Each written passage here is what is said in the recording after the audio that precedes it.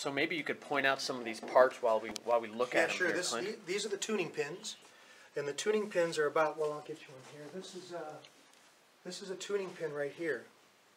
And it's pounded down into a pin block underneath here, uh, and so these are all threads here, and so you only see this much of it, and then the string is wound around that, and then the tuning hammer is put on there, and it's, it- and then the pitch is changed, I'll show you that on the other piano.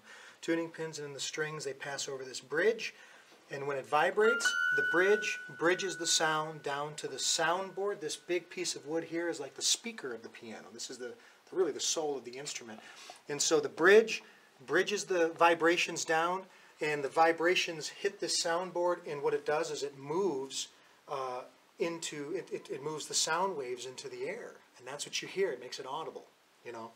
Uh, so- Beautiful. yeah, that's incredible. So if you didn't have this big soundboard, all you would hear is, you know, like the higher notes here, you can barely hear those because there's just a little bit of soundboard area. But down here, you know, when these bass strings are hit, the bridge bridges it down and you have.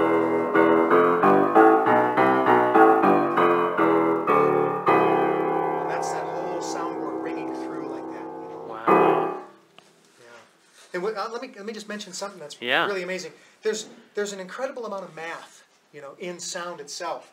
And you could have a piano. They start at about 13 gauge up here, and then it graduates down to about 20 gauge of wire, and then you have the bass strings.